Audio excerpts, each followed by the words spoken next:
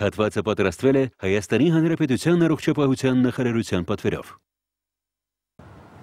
Հարգելի բարեկամներ, մասնագետ on-line շանթի ուղիղ եթերում ես Դավիթ Պետրոսյանն եմ, այսօր առողջության երաշխիք հավելվածն է եւ եկեք դիտենք տեսանյութը։ Մենք շուկան պետք է ուսումնասիրեք անընդհատ, չէ՞ կարող ֆիքսվել եւ չտեսնել թե ինչա կատարում առողջապահական աշխարհում մեզ համար գերակա ուղղություններից մեկն է Գյումրիում սրտային վիրաբուժությունը զարգացնել, այդ պատճառով ես ամբողջ ձեզ մոտ տեղադրված է։ Պետք է անպայման մատչելիության խնդիրը համահոր զարգանա որակին։ Սա կարևորագույն ուղղություններից է, որը մատչելիություն համատեղ պետք է զարգացումը։ Մենք ունենք բարձր որակ եւ մատչելիության տարագայում սկսել ենք զիջել։ Մենք երկրում ունենք բարձրագույն ձեռբերումներ սրտային վիրաբուժության, ինտերվենցիոն կարդիոլոգիայի եւ այդ ձեռբերումները իհարկե որակի ապահովման պարագայում սկսել են զիջել մեր ողքի երկրներին, անգամ այրաքաղաքի առանձին կլինիկաներին մատչելիության տեսանկյունից ստենտ կյանքի համար, այսինքն անհետաձգելի սրտային վիրաբուժության ծավալով է իրականացվել, գիտեք որ նախագահի ծրագրով է այդ դա իրականացվել, բայց այսօր մենք քննարկեցինք ծախսարդյունավետությունը եւ գնային քաղաքականությունը եւ որակը պահպանելու պարագային մենք անհրաժեշտություն ունենք այսօր գնային փոփոխությունների։ Մենք վերանայենք վաղը այդ բոլոր խնդիրները եւ հուսով եմ, որ շաբաթվա սկզբին արդեն մենք ունենանք մեկնարկային այդ հնարավոր տարբերակը, երբ պետական պատվերի գները առաջի հերթին կվերանայենք եւ շուկայական գները կարծում եմ որ նրա այդ մեկտեղ պետք է որ փոխվեն, որտեղ մենք շուկային ուղակի չենք խառնվելու, բայց պետական պատվերով գնվող ծառայությունների գները մենք կվերանայենք եւ կնվազեցնենք հաշվի առնելով իհարկե նվազագույն որակի ապահովումը, այսինքն այն պարագան, որից ներքև որակական փոփոխությունները չեն կարող ազդել հետագա բուժման ընթացքում։ Սիրելի բարեկամներ, այն տեսանյութը, որ մենք տեսանք, դիտեցինք, դա նկարահանված էր Գյումրիում, որտեղ այցելությամբ էր գնացել առողջապահության նախարար Արմեն Մուրադյանը եւ ինչումն է խնդիրը, ուզում եմ մի parzabanum մտցնեմ, Գյումրիի կենտրոնում արդեն գոյություն ունի ինվազիվ սրտաբանության ծառայություն, դա այն է, երբ որ սրտի զարկերակի մեջ նեղացված աթերոսկլերոզի պատճառով նեղացված զարկերակի մեջ տեղադրվում է ստենտ կոչված սարքը, որը ներսում բացվում է եւ ապահովում է շատ լավ արյան հոսք արդեն այն մասերին սրտի, որը եթե ստենտը չդրվի, կարող են տուժել, թթվածնային քաղց ունենալ, ինֆարկտ լինի եւ այլն։ Բայց ինչն է հետաքրքիր, որ եթե ժամանակին, երբ որ Հրայր Հովակիմյանը մեր հայրենակիցը Ամերիկայից հիմնեց Հայաստանում սրտային վիրաբուժությունը եւ այս ինվազիվ սրտաբանությունը, դա առաջինն էր այս ամբողջ տեղա մեր տարածաշրջանում եւ մեզ մոտ գալիս էին կողքի երկրներից, Ռուսաստանից այդպիսի ստենտավորման համար վիրահատության համար եւ հերթ էր եւ այն ժամանակ միգուցե հասկանալի էր թե ինչի է ամեն ինչը այդքան թանկարժեք։ Հիմա ես դժվարությամբ կարող եմ ասեմ, թե Երևանում որ մեծ բուժկական կենտրոնում նման ծառայություն չկա Այսինքն Երևանում շատ կենտրոններ ունեն, արդեն դա սկսել է մուտք է գործում մեր մարզերը, Գյումրիում արդեն կա, ես համոզված եմ ժամանակ կգա, որ շատ տեղեր կլինի։ Հիմա տեսեք, եթե գները մնան նույնը, ինչի մասին ասում էր նախարար Արմեն Մուրադյանը, իհարկե մարդիկ չեն ունենա հնարավորություն օգտվելու, չնայած պահանջարկը շատ մեծ է։ Եվ կստացվի, որ հսկայական ծախսերն արվել են, բայց մարդիկ չեն դիմում որովհետև այդ ամեն ինչը պետք է անել այն ժամանակ, երբ որ դեռ սուր պահը չի սկսվել։ Եվ կա այդպիսի գաղափար մյուս օրը այդ ինչ որ մենք տեսանք այցելության նախարարը հանդիպեց բոլոր նրանց հետ, ով այս շղթայում կան եւ ներկրողները եւ արտադրողները այդ սարքերի հենց Պուշկենտրոնի ղեկավարները եւ որոշեցին վերանայեն կարողանան օպտիմալացնեն, այնպես անեն, որ գները բերվեն մի աստիճանի, հատկապես եթե խոսքը գնում է պետ պատվերի մասին, որ ինչքան կարելի ավելի շատ մարդ կարողանա օգտվի։ Եթե շատ մարդ օգտվի ուրեմն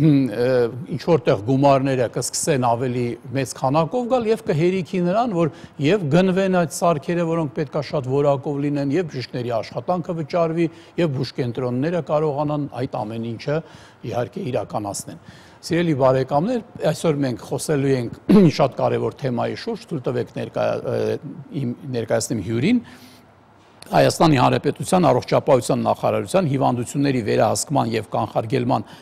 ազգային կենտրոնի գլխավոր տնօրենի տեղակալ Նունե Բակունցը։ Բարև ձեզ բժշկուհի Նունե, շնորհակալություն որ եկել եք։ Մի ամիս թե ավել առաջ, երբ որ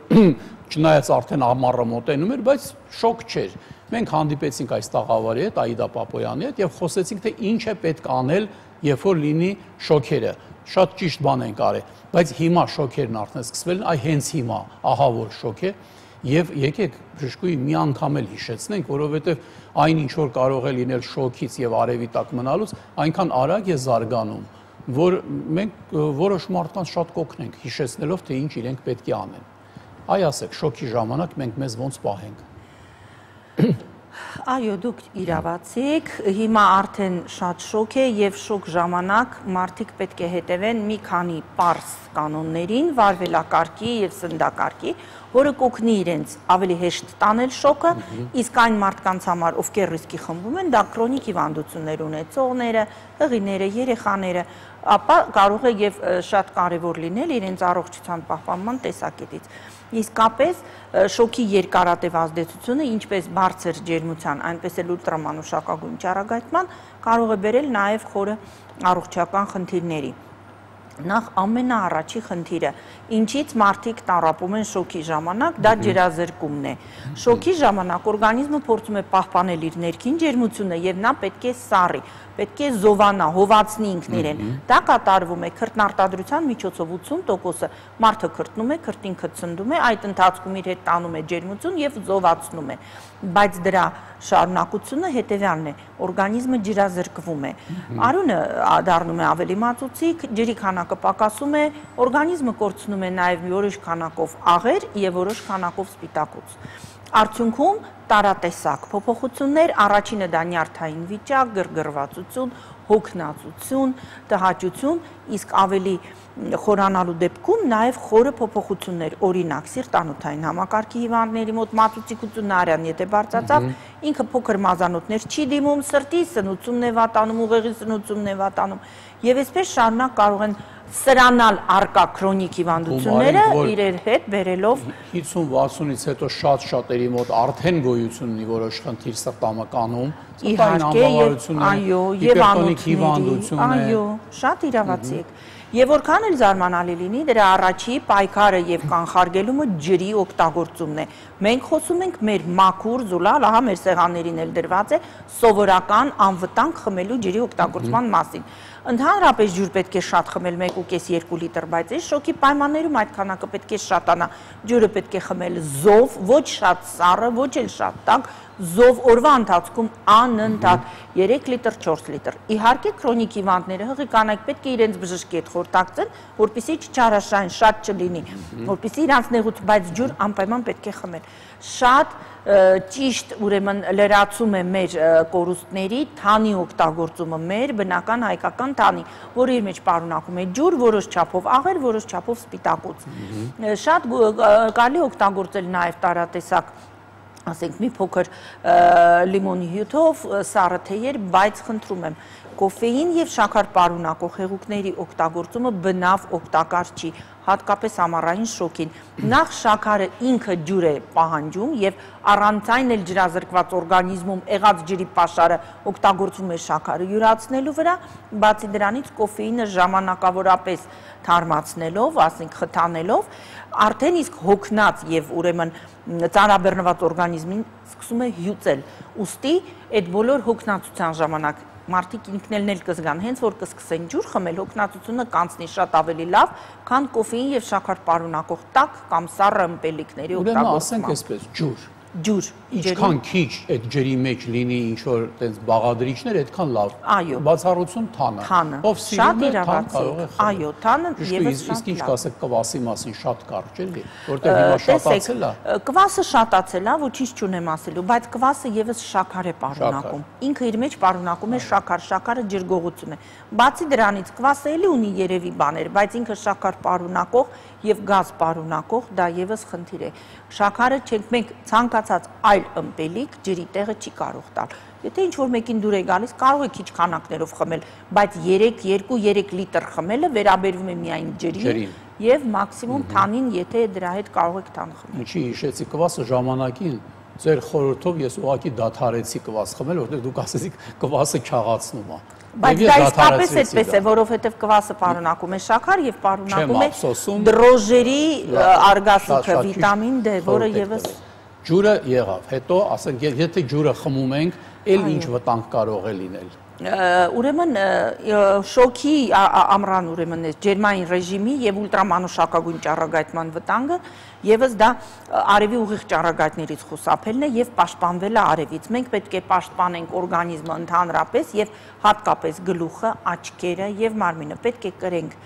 անպայման գլխարկ կամ հովանոց ուղիղ արևի տակ չլինենք հատկապես 12-ից 19 ամենաշոգ ժամերին Պետք է անպայման պահպանենք աչքերը, որովհետև աչքերի թաղանթը եւս շատ զգայուն է եւ կարող է վնասվել։ Պետք է կրենք բաց գույնի, ազատ եւ բնական օթափողվող ուրեմն կտորներից հագուստ։ Եթե ման ուրեմն դրսում պետք է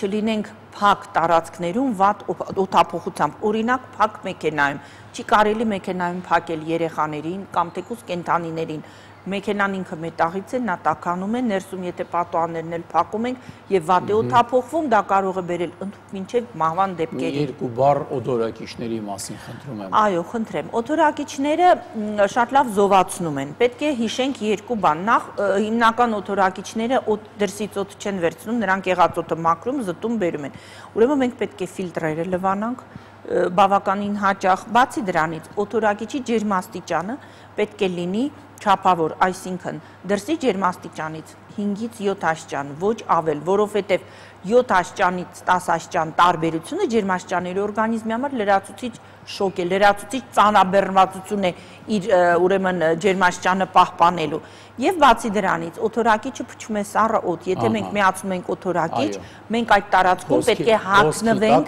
նախ չնստենք սառը օդի հոսքի տակ եւ պետք է հագնվենք այդ ջերմաստիճանին համապատասխան։ Այսինքն, եթե մեր սենյակում մենք դրել ենք, որ պետք է լինի 26 աստիճան, մեր հագուստը պետք է դրան համապատասխանի։ Մենք չենք կարող 40 աստիճանի ժամանակ կամ 35-ի համար թեթև շորով նստենք 26 աստիճանի տակ։ Մենք անպայման կարող ենք խնդիր ունենալ, օրգանիզմի իմունիտետը կընկնի եւ մենք կարող ենք մրսածության, այսպես ասած, Եվ այդ լավ եղանակին շոքին հանգարց ինչ որ մի Այո, անգինաներ, մրսական վիրուսային հիվանդություններ կարող են հիվանդանալ։ ունենալ դրանից։ Եվ անպայման արդեն նշեցինք ֆիլտրի մաքրումը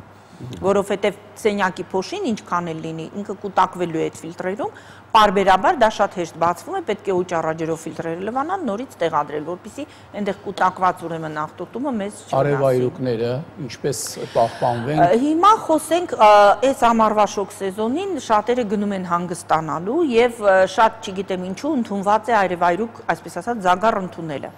Պետք է ասել, որ դա որ մաշկը մի քիչ բրոնզայի դե, բրոնզայի գույն գեղեցկության անդամ։ մասին ամեն մեկը իր կարծիքն ունի եւ պատմականորեն երևի կհիշեք դեռ է դարերից միշտ բաց մաշկը նախընտրելի է համարվել, այնպես որ դա բաց- մաշկով մարդիկ են վազում ծովափ ու սևան։ Այո, այստեղ մենք պետք է խոսենք առողջության համար, ուրեմն վտանգների եւ ոչ վտանգավոր դա լինելու տեսակետից։ ոչ մի լավ բան չկա։ Առողջության համար արևայրուկը ոչ մի լավ բան չի պարունակում, հատկապես մեր գոտում ապրողներին։ Այդ զագարը որովհետև օգուտ չի։ Բոլորովին նա վնաս է, օգուտ չի, ճիշտ չի ասելը, նա վնաս է, թվում է, որ դա դա ինչ որ այդպեսի sense պարկել արևի տակույ, արևի ճառագայթներ ընդունել, արևի լոգանք ընդունել, սոնիչնի վաննի, դա օգուտ է, բայց իրականում դա օգուտ չի։ իրականում օգուտ ինչու, որովհետև մեր ուրեմն մեր տարածաշրջանում ապրողները մեր երկրում ուլտրամանուշակագույն ճառագայթման բավարար քանակ են ստանում 15 րոպե դրսում գտնվելը բավարար է որպեսզի օրգանիզմը ստանա այն ինչ որ անհրաժեշտ է այսինքն խթանվի վիտամին D-ի արտադրությունը արևայրուք ընդունելիս մաշկը այրվում է չորանում է կնճռոտում է դա ծերացնում է եւ փչացնում է մաշկի որակը բայց ամենակարևորը դա բերում է մաշկի ճարորակ նորագույնության մելանոմայի զարգացմանը ուղիղ կապ գոյություն ունի Ոստի արևայրուք ընդունելը կատեգորիկ չի չի խրախուսվում։ Եթե թույլ տաք ուշքը ավելացնեմ, որ նրանք ովքեր արդեն օրգանիզմում որոշ օնկոլոգիական process ունեն, շատ-շատերը դրա մասին չգիտեն, սկզբում նրանց մոտ արագանում է process-ը, եթե անգամ դա ներսում է օրգանիզմի եւ շատ մեծ նշանակություններ ամեն այս ասածը փոքր երեխաների եւ մեծահասակ մարդկանց։ Եվ հղի կանանց։ Հղի կանանց։ Ուղիղ արիվի տակ պետք չի։ Կարելի է ստվերում ընդունել օթային վաննա, կոփվել եւ Այ բժշկուի, շատ շնորհակալություն բոլոր ով հիմա նստել էին հերոստատուցի դեմ եւ այս ամեն ինչը լսեցին, իրանք շահեցին։ Շնորհակալություն։ Խնդրեմ համեցեք առողջություն բոլորին։ Ահա, ընդհատվենք գովազդի, դրանից հետո կշարունակենք մասնագետ on-line-ը։ Հատվածը պատրաստվել է Հայաստանի Հանրապետության առողջապահության նախարարության պատվերով։ Ուշադրություն։ Շանթ հերոստանգերությունը նախաձեռնում է աննախադեպ մի ծրագիր, որը կարող է հիմնովին փոխել հայկական հերոստահերարցակման արդի որակը։ Այս տարի, սկսած օգոստոսի 15-ից, ներկայիս գործող Արբանյակի վրա մեկնարկելու է Շանթի եւս մեկ ալիք։ Արտերկրում բնակվող մեր հայրենակիցները վերջապես հնարավորություն կստանան դիտել շնթի ծրագրերը ուշադրություն, գերազանց տեխնիկական որակով եւ առանց գովազդային ընդմիջումների։ Դրա համար անհրաժեշտ է բաժանորդագրվել այս ալիքին վճարելով ամսական մինչև 2-ից 4 դոլար абոնենտային վարձ։ Իսկ նրանց համար, ովքեր նոր ալիքին բաժանորդագրվելու խնդիր կունենան, կպահպանվի ներկայիս բաց հեռարձակումը անփոփոխ կերպով։ Արբանյակային նոր ալիքի կոորդինատներն են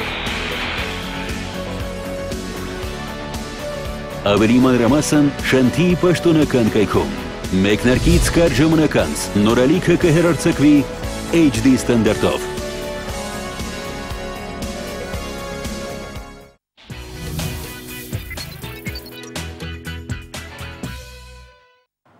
Շարունակում ենք մասնագետ on-line-ը։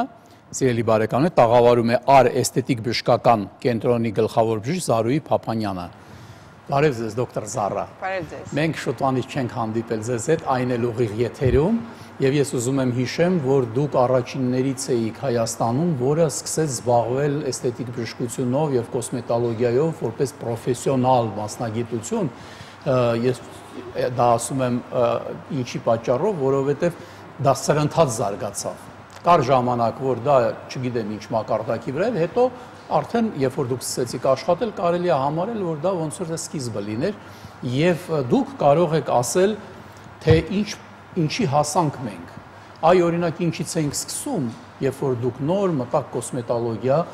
կանանց ինչով կարող էինք օգնել են տարիներին, իսկ հիմա ինչին ենք հասել,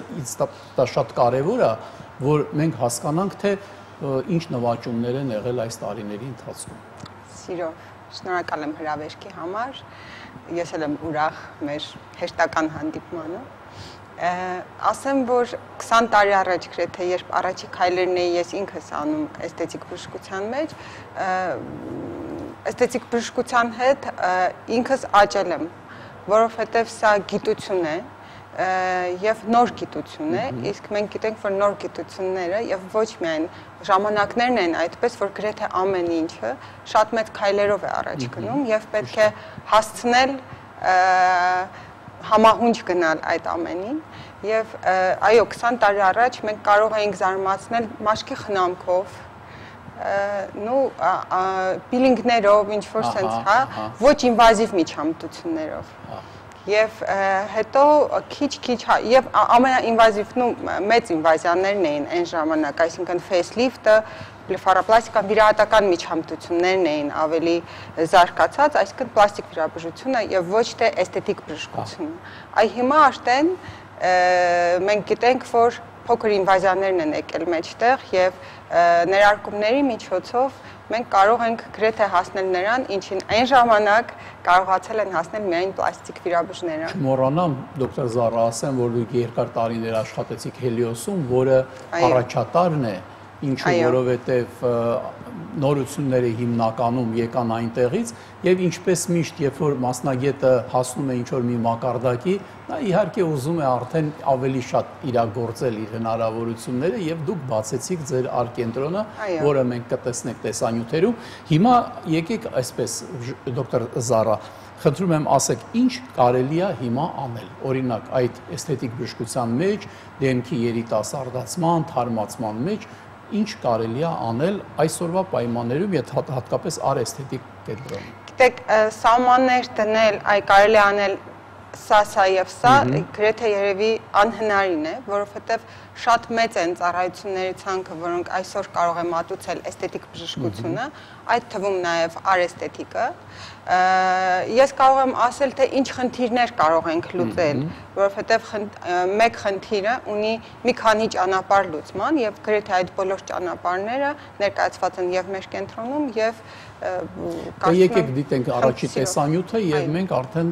կսկսենք դուք կսկսեք արդեն ուղակի մեզ ներկայացնել թե ինչ ինչ եք անում։ Սա ձեր բոլոր տեսակի վերապատրաստումներն են մեծ քանակով Ես պետք է նշեմ, որ կենտրոնում ներկայացված են բարձրակարգ գծեր, Ահա, ես հիմա ներարկում եմ կատարելու։ Դուք հիմա գնահատում եք երևի ընդհանուր վիճակը եւ որոշում եք ընդունում, այ դուք ասեղ մցրեցիք, սա ուրեմն միջամտությունը կատարվում է ոչ սրածայր, կանյուլայով է կատարվում, հա։ որpիսի ինքը լինի ատրավմատիկ, այսինքն չվնասվեն անոթները։ Սա այդքան էլ սրսկում չի, այսպես ասենք սրսկում է, բայց ոչ սրածայր ասեղով եւ չի վնասվում հյուսվածքները չեն վնասվում, չեն վնասվում անոթները եւ արդյունքում չենք ունենում գրեթե ոչ մի հետ։ Այսինքն մենք կտեսնենք միջամտությունից հետո հաճախ թե դուրս կգա այդ մի անցքից։ Այդ մի հա? անցքից, այո, կարելի է գրեթե բոլոր կողմերով կատարել ներարկում։ Այսա արդեն ասեղով Այսինքն այն շատ նուրբ բաները, որոնք պետք է յուվելիրնի հա, հա գործեր անել ոսկերչական այո ճշգրտությամբ այո կատարվում են ասեղով ես դիտավորյալ դեմքի մեկ կողմն եմ մշակել հիմա որովհետեւ մենք տեսնենք տարբերությունը այո ինչ եւ հետո այո Եթե կարելի է մի հատ վերջի կադրը կարող եք մի անգամ էլ մեզ տալ, ինչ հասցրեցինք տեսնենք, ահա։ Ահա լծվել է քիչ տասվային։ Այս այս աճ կողմինը ինքը թվում է մոտ մի 10 տարով ավելի երիտասարդ կին։ Այդ ինձ տպավորություն է, եթե մենք չխորանանք ոչ Չնայած փոփոխությունները շատ քիչ են, այսինքն պահպանելով հիմնականը, հա, մենք աշխատել ենք ինչ որ դետալների վրա, որպեսզի Ինչ էիք դուք ներարկում։ Այդ ինչ եք դուք ներարկում, որ այդպիսի ինքը տալիս է թարմության եւ լեցունության տեսք մաշկին։ Ես պետք է ասեմ, որ արեստետիկը այլևս համարվում է իտալական նովիա ընկերության գործընկերը օֆիցիալ եւ ես կլինեմ ամենայն հավանականությամբ այդ գծի ներկայացուցիչը եւ բացի ոչ թե ներկայացուցիչը, այլ տրեները, այսինքն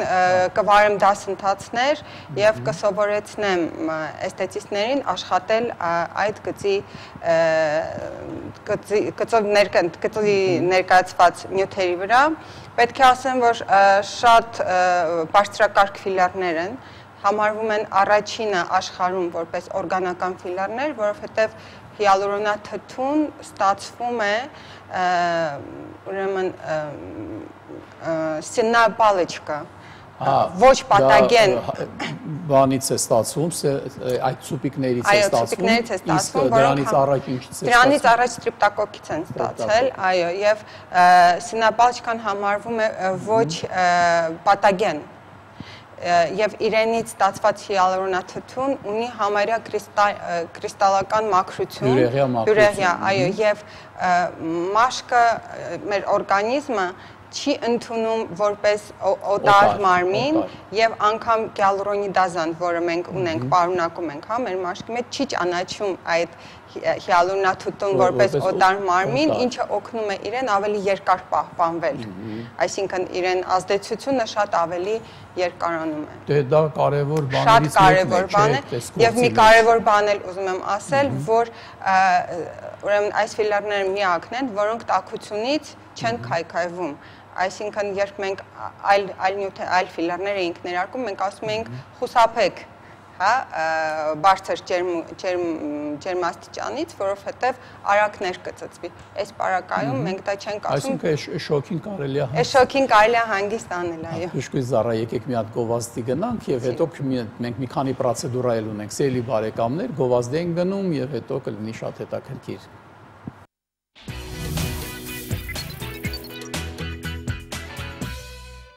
Ուշադրություն Շանթ հերոստանգերությունը նախաձեռնում է աննախադեպ մի ծրագիր, որը կարող է հիմնովին փոխել հայկական հերոստահերարցակման արդի որակը։ Այս տարի, սկսած օգոստոսի 15-ից, ներկայիս գործող Արբանյակի վրա մեկնարկելու է Շանթի եւս մեկ ալիք։ Արտերկրում բնակվող մեր հայրենակիցները վերջապես հնարավորություն կստանան դիտել Շանթի ծրագրերը ուշադրություն, գերազանց տեխնիկական որակով եւ առանց գովազդային ընդմիջումների։ Դրա համար անհրաժեշտ է բաժանորդագրվել այս ալիքին, վճարելով ամսական մինչև 2-ից 4 դոլար աբոնենտային վարձ։ Իսկ նրանց համար, ովքեր նոր ալիքին բաժանորդագրվելու խնդիր կունենան, կպահպանվի ներկայիս բաց հեռարձակումը անփոփոխ կերպով։ Արբանյակային նոր ալիքի կոորդինատներն են։ Ավելի մանրամասն Շանթի պաշտոնական կայքում։ Մեկնարկից կար ժամանականց նորալիքը կհերարցակվի HD ստանդարտով։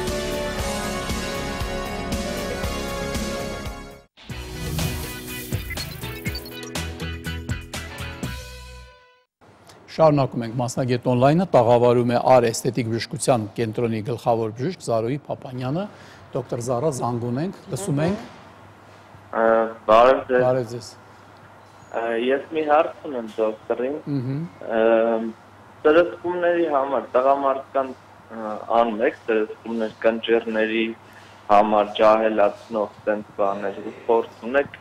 այդ բանի մեջ։ Այսինքն այն որ կանանց անում են, այդ դուք չեք կասկածում, կանանց հաստատ գիտեք որ անում են։ Հիմա հարցը տղամարդկանց անում եք թե չէ։ Թե ասում եք եթե դու տղամարդ ես, ուրեմն ամոթ է դու չպետք է տենց բաներ անես տղամարդ ես։ Պետք է ասեմ, որ մանավանդ այս վերջի տարիներին շատ մեծացել է տղամարդ հաճախորդների քանակը եւ իհարկե անում ենք եւ մի բան պետք է նշեմ որ այ մինչ գովազդը նշված գիծը հա նվիա ունի ոչ նվիա ֆիլերները ունեն հատուկ տղամարդկանց համար նախատեսված գիծ։ Դոկտոր Զարա, օրինակ ինչու՞ է տարբերությունը, ասեք, որ մենք ավելի Մի քիչ ավելի խթության տարբերություն է, քանի որ տղամարդու մաշկը մի քիչ ավելի կոպիտ է, քան կանանց, հա, այսինքն որpիսի արդյունքը շատ ավելի տեսանելի եւ լավը լինի, խթության տարբերությունը մի քիչ ավելի խիտ են այդ պրեպարատները։ Շատ լավ։ Մենք մի տեսանյութ ունենք, որտեղ կրկին պրոցեդուրա է, խնդրում ենք դիտել։ Շատ գեղեցիկ է ձեր շքամուտ կասեմ։ Շնորհակալություն։ Պլազմատերապիան է, որը գրեթե այսօր չկա այդպիսի կլինիկա, որտեղ չի կիրառվում շատ արդյունավետ կիրառողից էլ շատ բանա կախված էլի խոսենք արդյունավետ ժամանակակից միջամտություն է իդեպ արում կատարվում է ոչ միայն պլազմատերապիա այլև պլազմաջել այսինքն այս հեղուկը մենք տակացնելու տերմոստատի միջոցով իրենից ստանում ենք ջել եւ օգտագործում ենք որպես այո ստանում ենք դոնդով եւ օգտագործում ենք որպես ֆիլեր Այսինքն կարող ենք լցնել։ Որը հենց Իրանն էր։ Այո, հենց Իրանն է։ Այո, հենց պացիենտին։ Այս դեպքում ընդհանրապես ոչ մի հակացություններ չկան, այո։ Մասին չկա խոսք։ Այո ինչ է դա իրար հետ կիրառում եք ասենք դա իհարկե կարելի է իրար հետ կիրառել այո չկա հակացություն որ դե տեսեք դոկտոր Զարանայք սկզբի օրինակ ասենք ես չգիտեմ հասկանում այդ թեմայից Մարդը եկա ֆիլերն արեցիք նրա համար, որ որոշ այդ կրճիրները իր հարթվեն, ավելի թարմացվեն եւ այլն։ Հիմա նաեւ ասում եք, որ պլազմոլիֆտինգն էլ կամ պլազմոգելն էլ լավ է։ Այո։ Դրանք ինչով են իրար լրացնում։ Թե մեկը որ արեցինք մյուսը, ասենք միգուցե բոլորովին, բոլոր միջամտությունները, որոնք կատարվում են, իրենք իհարկե իրեր կարող են եւ ինքնուրույն կիրառվել եւ կիրառվել որպես լրացում մեկը մյուսին այստեղ կախված է թե ինչ խնդիր է դրված մեր առջև եւ ինչ ինչ լուծումներ ենք մենք փորձում տալ դրան Իհարկե, պլազմա լիֆտինգը լավացնում է մաշկի սնուցումը, գույնը, բար տուրգոր այո այսինքն լեցունությունը մաշկի հարմությունը բայց չի տալիս խորը կնճիռների հետ աշխատանք չի վարում խորը կնճիռների հետ կամ ակոսների հետ արդեն կարելի է պայքարել պլազմագելի միջոցով հա Այստեղ մի բան կա, տեսեք, պլազմագել, պլազմագել է ձեր ասած դոնդող մի քիչ ավելի կարճաժամկետ է իրեն ազդեցությունը։ Եվ այն հաճախորդը, որը կասկածում է, արդյոք ինքը կուզենա ֆիլերով շտկել թե ոչ, ես միշտ առաջարկում եմ պլազմագելը, որովհետև ինքը կմնա 1-2 ամիս ոչ ավել, բայց այդ ընթացքում ինքը կխթանի մաշկի սնուցումը, կլավացնի ուրեմն անոթային ցանցի աշխատանք եւ այլն եւ միաժամանակ վիզուալ մենք կունենանք ֆիլերի շտկում հա հա, հա։ եւ եթե հաճախորդը ասում է որ այո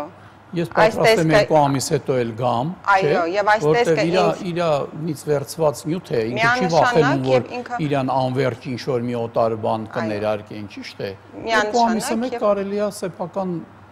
օրգանիզմի ստացած ինչ որ մի այդպեսի բան։ Կամ հաջորդ անգամ կարելի է անել աշտեն ֆիլերով։ То есть եթե ինքը բավարարված է այդ արդյունքով եւ ինքը իրեն դուր է գալիս այդ կատարած աշխատանք, ուրեմն կարելի է արդեն ավելի երկարատև նյութ ներմուծել, ասածը սա էր։ Դոկտոր Զարա, զանգ ունենք։ Լսում ենք, ալո։ Ալո։ Ալո, բարև ձեզ։ Բարև ձեզ։ Ես հարցնեի բժշկուհուն։ Ուզում եմ իմանամ, ինչ հաճախականությամբ են անում այդ պրոցեդուրան Հա, որ մեկը այդ ֆիլերները, թե ֆիլերները, չէ, ֆիլերները, չէ։ Պլազմոթերապիան։ Ահա։ Եվ ուզում եմ իմանալ հակացություններ կան թե չէ։ Շնորհակալություն։ Շնորհակալություն։ Ուրեմն պլազմաթերապիան կարելի է անել էլի կախված թե ինչ խնդիր ենք լուծում, ես ասեմ, որ ինքը մեծ կիրառում է գտնում նաև ալոպեցիայի ժամանակ, շատ եւ ունենք փայլուն արդյունքներ։ Ճաղատության, բայց խոսքը երևի ավելի շատ կանանց մոտ, իրենց մոտ կանանց մոտ մի քիչ ուրիշ տեսակի մազաթափություն է, չէ՞։ Թե կանանց մոտ եւ թե տղամարդ կանց, մենք ունենք Կգամ ձեզ մոտ կասեմ մի հատ ինձ։ Սիրով։ Հա, եւ երկու ամսից հետո այսպես մազերով կնստեմ, հետո ինչ։ Ունենք նկարներ ինչ եւ հետո կատարված միջամտությունից եւ արդյունքները այո հուսադրող են շատ։ Ուրեմն կախված խնդրից պլազմաթերապիան կատարվում է 7-ից 14 օրը մեկ Միջինում 4-ից 6-8 միջամտություն։ Շատ լավ է։ Ես կարծում եմ, որ կինը կարող է ժամանակ գտնել, որ այդ ամեն ինչը գա առանց զոհելու իր ուրիշ խնդիրները։ Մենք գիտենք, որ մեր կանայք շատ զբաղված են եւ տան գործերով եւ մեծ մասը աշխատում է, բայց ինչն է գնահատվում մեր կանանց մոտ, ես դա միշտ ասել եմ, որ ինքը ամեն ինչ հասցնում է հայկին ամեն ինչ հասցնում է եւ երեխաներին եւ իր արտաքին տեսքը միշտ տնից դուրս գալուց ուղակի հիանում ես տեսնելով։ Այո, այսօր հայկինը շատ խնամված է, շատ։ Եվ եկեք կոչանենք, որ նույն ձևի սկսեն իրենց վերաբերվել նաև տղամարդիկ։ Այդ այդ գաղափարը, որ եթե տղամարդ ես ոնց որ մի քիչ ամոթա շատ տարվես արտաքինով, եկեք ասենք, որ դա ոչ թե խոսքը գնում է նրա մասին, որ լինել սիրուն, դա բացարձակ դա այդ չի Ուղղակի, եթե հետևում ես արտաքին տեսքի, դոքո հետևում ես հակոստի, թե հետևում ես որ լինի ճաշակով, որ շատ մաշված չլինի, ոնց կարելի է բաց թողնել ուշադրության կենտրոնից արտաքինը եւ մաշկը եւ այդ բանը։ Միանշանակ համաձայն եմ։ Տեսանյութ ունենք, եկեք դիտենք, բժշկուհի, սա եւս մի պրոցեդուրա է, որը ձեզ մոտ արվում է։ Սա լազերային մազահեռացումն է։ Արվում է դիոդային լազերով պետք է ասեմ, որ գրեթե անցավ է, որովհետև գլխիկը, որը մենք տեսնում ենք, cool touch է, այսինքն շատ սառն է, շատ -8 աշյանի հասնող եւ մենք գիտենք, որ սառույցը ունի ցավազրկող արդյունք եւ համ,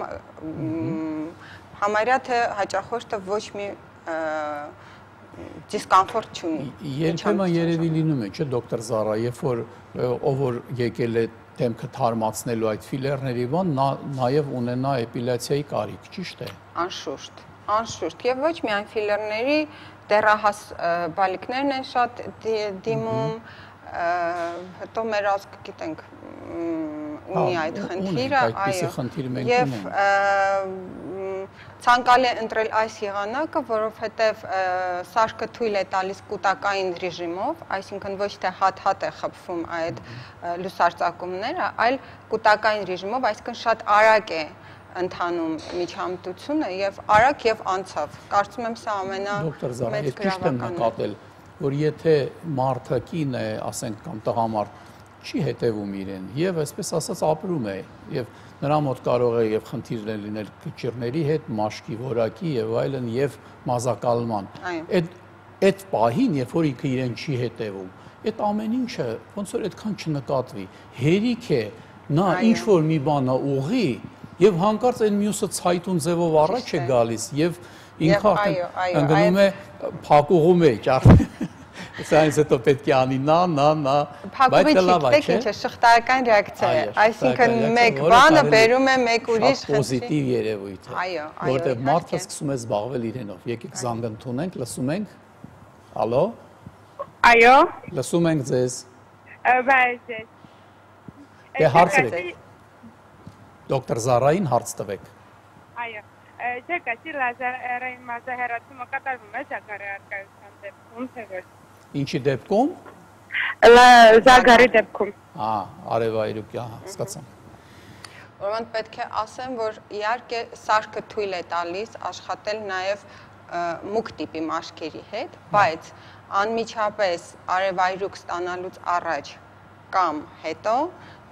ցանկալի չի կատարել լազերային եւ ոչ մի լազերային միջամտություն։ Եթե պատրաստվում է անձը գնալ եւ ընդունել արևային լոգանքներ այդ զագար ասացի համար, ուրեմն թող ինքը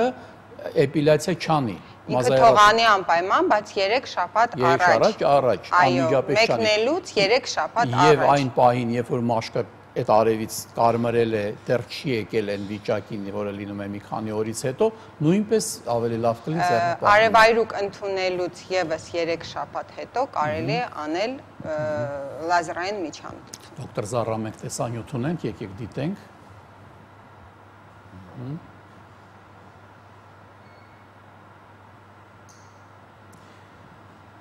ուրեմն անպայման գալուց ինչ որ տենց հաշվառվում է, չէ, մատենագրվում է։ Եվ մատենագրվում է իհարկե, գալուց ցանկալ է նախորդ նախապես զանգահարելն։ Ասա հակացիլիտային մերսումն է մեղրով, կատարվում է շատ բարձրակարգ մասնագետների կողմից։ Պետք է ինչ որ բաներ ուզում ասել։ Հակացիլիտային մերսումը հատուկ ձևով է արվում։ Ճիշտ է տարբեր տարբեր մերսման մերսողը գիտի մերսողը գիտի իհարկե բայց հակացիլիտային մի քանի մերսման եղանակներ կան իհարկե այո եւ մեր մասնագետները մեր մոտ նախ խորտատվությունը անվճար է եւ մոտեցումը ինդիվիդուալ, այսինքն մինչեւ մասնագետը չզրուցի, չհասկանա խնդիրը, քայլ առաջ չի կատարվում։ Դրա համար իհարկե ինդիվիդուալ է ընտրվում, թե ինչ մերսման եղանակով կարելի է լուծել։ Եկեք զանգ ընդունենք, լսում ենք։ Ալո։ Ալո, բարև ձեզ։ Բարև ձեզ։ Ես հարց ունեմ դոկտորին։ Ներաճած մազերի դեպքում ինչ լուծում եք առաջարկում ներաճած մազերի հենց երևույթ կա հա? այդպիսի երևույթ կա եւ հենց նոր մենք տեսանք լազերային էպիլյացիան կատարվում էր ձեռքի վրա որտեղ կային ներաճած մազերից հետո մնացած հետքեր հա Ես պետք է ասեմ, որ լազերային միջամտությունը, լազերային մազահեռացումը շատ օգնում է սպարակայում, որովհետև կանխարգելում է մազի ներաճը, ազդում է նաև այդ պիգմենտացիայի հետքերի վրա, որոնք նույնպես մնում են ներաճած մազերից հետո, եւ իհարկե խորհուրդ է տրվում տնային խնամք որոշակի նյութերով, որոնք շատ ազդեցիկ են, որpիսի անընդհատ լինի այդ մաշկի վերին շերտի հեռացում եւ մազերը հեշտությամբ կարողանան դուրս գալ։ Եկեք տեսանյութ դիտենք, դոկտոր Զարա։ Սա մեր սման այլ եղանակներ են, այո։ Ես ինչպես հասկանում եմ, մի քիչ մթություն է ստեղծված։ Այո։ Չինական մերսում։ Անմո մերսումն է, այո։ որը Դե կատարվում է։ դա բարդ բարդ գործ է, այս ամեն ինչը երևի ինչ որ հիմա Սա գուաշա է կոչվում, այո, էներգետիկ փակուղիներն են, եթե այդպեսի կան, հա, բացվում են եւ սուր ցավերն է հանվում ողնաշարի մկանների եւ այլն։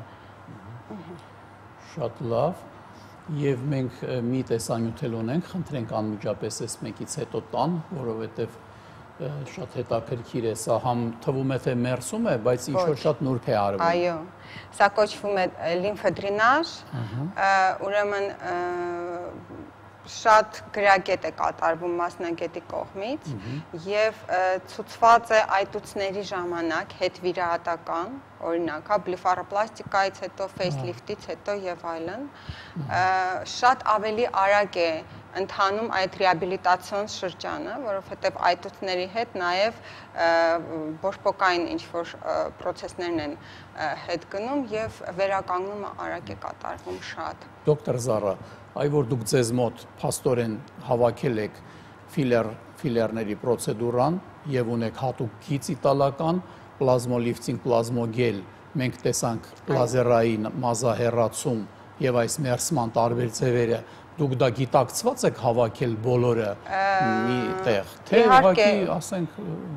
այս թող ով ուզի սա ով ուզի նա Նախ պետք է ասեմ, որ տեսանյութերում ընդգրկված չեն այն ամեն ծառայությունները, որոնք մատուցում է արեստետիկը։ Ասեք, էլի Ես դուք գիտեք, որ տարիներ ես զբաղվում եմ պրոբլեմատիկ մաշկի բուժումով եւ շարունակում եմ սիրով զբաղվել, այսինքն ներկայացված են պիլինգներ շատ բարձրակարգ, իսպանական, ամերիկյան, իտալական ը, ասենք թե եթե խոսքը գնում է հետ ակնե Այո, հետ ակնե։ քոսիկների Այո։ մասին, հա Եթե խոսքը գնում է հետ ակնե փոսիկների մասին, ապա այստեղ թե մեզոթերապիան, թե դերմարոլեր կոչվող հիմա միջամտությունը, որը իրենից մանր ասեղներ է ներկայացնում եւ միաժամանակ թույլ է տալիս անել թե պիլինգ, այսինքն մաշկափոխանակում եւ թե մեզոթերապիա։ Միաժամանակ է կատարվում, գրեթե անցավ է, ը, կոմֆորտնի ը, եւ շատ օգնում է այդ հետակնե հետքերի համար։ Եկեք զանգ ընդունենք, լսում ենք։ Ալո բարև Բարև ձեզ։ ձեզ։ Ը, Ես մի հարց ունեմ։ Այո։ Ես ուզում եմ իմանամ, իսկ եթե պրոբլեմատիկ է մաշկը, ինչպես կարելի է օգնել այդ այդ դեպքում։ Հարցը հենց Պրոբլեմ պրոբլեմատիկ է մաշկը, ես կարծում եմ, որ իհարկե դոկտոր Զարա դուք կարող եք օգնել, բայց պրոբլեմները տարբեր են ես լինում, դա էի ճիշտ է։ ուզում ասել, թե նայած Հա։ թե ինչ խնդրեմ է եւ ինչ տարիքային Դրա համար առաջի հերթին պետք է պացիենտը այո։ հացի ինչպես յուրաքանչյուր մաշկաբան, այդպես է կոսմետոլոգ պետք է ասի, որ մինչև չտեսնեմ, չեմ կարող ասել։ միանշանակ, բայց իհարկե, եթե պրոբլեմատիկ մաշկը ի նկատի ունեն ակնեն, ապա լուծումները կան, եթե ի նկատի ունեն մի քիչ ավելի տարիքային, այսինքն դա ռոզացեան է եւ այլն, հա, էլի սիրով պատրաստ ենք օգնելու մեր կենտրոնում։ Դոկտոր Զարա, եկեք էլ ինչ բացի այդ ինչ որ ցույց տվեցինք եւ ասեցիք, էլ ինչ հարցերով կարելի է դիմել։ Ուրեմն ասեցի, դա պրոբլեմատիկ մաշկն է, դա հետ ծննդաբերական այն մաշկի բծերն են, այո, ստրիաներն են, ա, հեռացումներ է կատարվում պապիլոմաների, հիմա ուղղակի այս շատ շոկ եղանակին ես գերադասում եմ չանել այդ միջամտությունը դրա համար տեսանյութի մեջ էլ չկա նկարահանված 20 տելազմաների հեռացում է կատարվում աչքի տակ երբ այդ խո- խոլեստերինովի բլաշկի հա կոչվում են իրենք մի խոսքով բավականին լայն է մեր ծառայությունը Դոկտոր Զարա,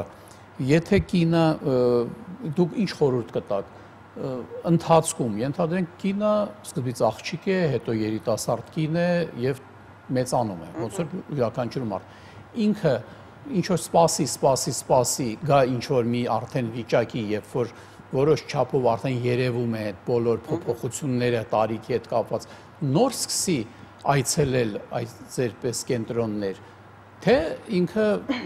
ասեք որ պետքա շատ շուտ արդեն միշտ միշտ անի ինչ ոնց անի միանշանակ ոչ սпасել պետք չէ հա։ եւ եթե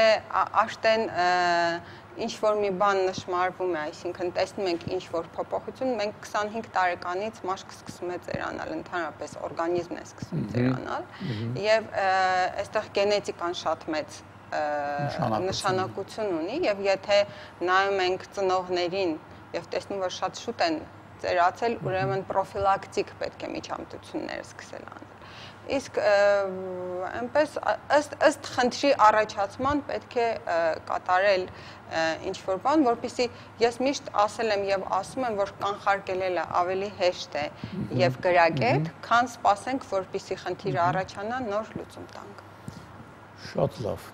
Դա էլ հասկացանք, որ պետք է չսпасել։ Այո։ Զանգունենք, լսում ենք, ալո։ Ա Ալո, բարև ձեզ։ Բարև ձեզ։ Բժշկուհի ջան, ես 47 տարեկան եմ։ IT շրջանում ճարպակնդեր ունեմ։ Ասենք, ինչպես կարամ այդ հեռացնելով, բուժումով, ինչպես կարող եմ Շատ լավ, շնորհակալություն։ Դա այն որ sense դեղին sense կետերի պես բան են, հա, չի շուրջը։ Ճարպակունդը մի քիչ այսպես մեծ ես կարծում եմ որ միլիոնների մասին է խոսքը, այլ ոչ թե ճարպագնդերի։ Դե քանի որ դեղնավուն է, երևի մեր պացիենտը Չէ, միլիոնն էլ ճարպ է պարունակում մեջ, բայց իրենք շատ ավելի փոքրիկ են, այո ապա կարելի է հեռացնել, թող դիմեն մենք սիրով ատրավմատիկ, այսինքն գրեթե հետքեր չթողնելով կհեռացվի։ Դոկտոր Զարա, ինչ խորհուրդ ընդհանրապես կտակ կանանց խոսենք կանանց մասին, հələ որ երբ տղամարդկանց թողենք մի կող, կանանց ինչ խորհուրդ կտակ, ինչպես իրենք որ տնային պայմաններում կան ինչ որ ձևեր, որ կինը իր մաշկին հետևի, ճիշտ հետևի, որովհետև ենթադրեք տեսեք, խանութներում դրված է առավոտյան նրբակսուկ, գիշերային նրբակսուկ, ցերեկային նրբակսուկ, թվում է ամեն ինչ շատ հեշտ է։ Գնում է ինքը այդ երեքից էլ առնում է, մի հատ առավոտն է քսում, մի հատը ցերեկը, մեկը երեք։ Կարելի է դա համարել ճիշտ խնամք մաշկի։ Գիտեք, կարելի է համարել, եթե դա ոչ եթե դա դեռ ոչ մի խնդիր չունեցող մաշկ է, այլ այսինքն մաշկ է, որը ունի լոկ սնուցման կամ խոնավեցման կարիք, բայց այդ քսուկները պետք է գրակետ ընտրել, որովհետև շատ ժամանակ լինում է, որ ասում են, գիտեք, ինչ թանկարժեք քսուկ եմ օգտագործում, բայց արդյունքում մաշկս չոր է եւ այլն։ Այսինքն պետք է համապատասխան լինի եւ ես գերադասում եմ, որ դա մասնագետի կողմից նշանակված լինի, որովհետեւ մասնագետը աշխատում է պրոֆեսիոնալ գծերի հետ, իսկ պրոֆեսիոնալ գծերը շատ ավելի խելացի են, քան նրանք, որոնք խանութներում ներկայացված են։ Իդեպ, եթե կարելի է մի բան ավելացնեմ, ես սիրով հիմա համագործակցում եմ Նաիրյանի հետ, կարծում եմ տեղյակ եք մեր հայկական քսուկներն են, որը շատ բնական Նաիրյան։ Հա։ Հա, գիտեմ։ Այո, եւ արեստետիկը կունենա Նաիրյանի հայկական բժշկական հաղորդումով մի վնասիրով ներկայացված է եղել դա։ Կունենա Նաիրյանի մի անկյուն, անպայման եւ անպայման Նաիրյանը ներկայացված կլինի։ Ես ծանոթ եմ այդ անձնավորությունների հետ, որոնք դա կազմակերպել են, շատ մեծ վստահություն են ներշնչում եւ իհարկե պետք է մենք հասկանանք, որ բաներ կան, որոնք հենց մեր կողքն են արտադրվում եւ այդ մարդուն կարելի է զանգահարել երբեմն օրինակ ասում են տեղական դեղեր արտասահմանյան դեղեր բայց եթե տեղական դեղը լավ է արտադրված իսկ մենք ունենք այդպիսի արտադրություններ ես կնախընտրեի հենց դա գնել որովհետեւ դու գիտես արտադրողին դու կարող ես իրեն գտնել իրեն հարցնել ասել այսինքն տեր կա տեր կա կանգնած իսկ այն վերածը դու չգիտես շատ ժամանակ որտեղից վերեցին ինչպես արեցին եւ եկեք մի զանգել ընդունել դոկտոր Զարա լսում ենք Ալո, բարև ձեզ։ Այո, բարև ձեզ։ Ես մի հարց ունեմ։ Եթե մաշկը ալերգիկ է, հնարավոր է էպիլյացիաների դեպքում առաջանան ալերգիկ ռեակցիաներ։ Ահա, այսինքն մարդ է, որը ունի ալերգիա։ Եթե ալերգիան ժամանակ առ ժամանակ արտահայտվում է ցանավորումներով, տարբեր երևույթներով, տենց մարդը կարող է անել մազահեռացում, թե Մազահեռացման կարող ոչ թե մազահեռացումից, այսինքն process-ից կարող է լինել ալերգիկ ռեակցիա, այլ գել է օգտագործվում որպես պրավադնիկ, հնարավոր է գելից, բայց որպեսի համոզվենք, որ չի լինելու, կարել է գալ փորձնական ինչ-որ մի տեղ այդ գելը կսել եւ սպասել մի քանի ժամ եւ հետո եթե ամեն ինչ նորմալ է, ապա քանի որ մենք ասում ենք, որ երբեք ոչ մեկ չի կարող իմանալ, թե ինչից կարող է լինել ալերգիա, չէ՞, աշխարհում ամեն ինչ կարող է առաջացնել, որոշ նյութեր շատ են առաջացնում, իսկ երբեմն լինում է ընդհանրապես չնչին տոկոս ինչ որ դեպքեր նման նյութից ալերգիայի, ոչ մեկ չի կարող ասել, որ հաստատ գելից չի կարող լինել։ Բայց եթե սենսիբիլիզացիան բարձր է, զգայունությունը մաշկի, չի բացառվում, որ այդ գելից լինի եւ դա արդեն վերագրվի միջամտության։ Այո, դրա համար ասում կարելի է փորձ։ Մի հարցել ունեմ, չէ՞ որ շատ ընդունված է եւ անհրաժեշտ է, ես գտնում եմ, որ եւ դա ճիշտ է, դեկորատիվ կոսմետիկան կանայք օգտագործում են ուղղակի որպես սովորական մի միջոցառում, դա առանց դրա ոնց որ չի լինում։ Դա մաշկը լավացնում է, թե միգուցե տեսքը լավացնում է իհարկե, բայց հնարավոր է որ դա ավելի արագացնի ծերացումը, մաշկի թորոմելը եւ այլն։ Հարցը պատասխանս կլինի գրեթե նույնը, այսինքն եթե ճիշտ ճիշտ դեկորատիվ կոսմետիկա է օգտագործվում, իհարկե ոչ, այսինքն չի վնասի մաշկը եւ ես հենց հիմա իմ կենտրոնում ունեմ ստիրիլ տոնային կրեմ, այսինքն լուրջ միջամտություններից հետո անպայման շպարում եմ, որպիսի կոմպլեքսներից ազատեմ հաճախորդներին, որովհետև չեմ կարծում, որ հաճելի է այդպես ծակցկված կամ ինչ-որ հետքերով դուրս գալ փողոց։ Էնպես որ եթե ճիշտ է ընտրված, իհարկե միանշանակ այո, օրինակ նույն Նաիրյանի դեկորատիվ քսուկը, որը պատրաստված է բնական հումքով, իհարկե կարծում եմ, որ վնասել չի կարող։ Դոկտոր Զարա, շատ քիչ ժամանակ է մնացել, շատ կարճ խնդրում եմ ասեք, պլաստիկ վիրաբույժների հետ աշխատում եք։ Անպայման, հա? անպայման համագործակցում ենք պլաստիկ վիրաբույժների հետ եւ եթե հաճախորդը ունի խնդիր սկզբից իրեն աշխատանքը կատարում է պլաստիկ վիրաբույժը եւ հետո մնացած խնդիրները շտկում ենք մենք։ Այսինքն եթե բավականին լուրջ պետք է միջամտել, ավելի լավ է սկզբից պլաստիկ վիրաբույժը այդ հարցը լուծի, դրանից հետո այս ամենը կարող ենք անել։ Բժիշկ կոսմետոլոգը միանշանակ։ Շատ շնորհակալություն դոկտոր Զարա, գիտեք շատ հաճելի էր, որ մենք արդեն ունեցանք եւս մի միավոր, որին կարող ենք վստահել արեստետիկ բժշկության կենտրոնն է այցելենք ձեզ մոտ, դուք ասացիք որ տղամարդիկ էլ կարող են օգտվել, այնպես որ մեծ հաճույքով կայցելենք եւ տեսնենք թե մեր հերոստատողները կարող են կռահել, որ դոկտոր Դավիթն էլ է օգտվում այդ ամեն ինչից, թե ոչ, թե կկարծեն որ ինքը այդպես էլ միշտ մնալու է։ Շնորհակալություն։ Ես էլ եմ շնորհակալ։ Սիրելի բարեկամներ, շնորհակալություն, ստեսություն, մի հիվանդացեք։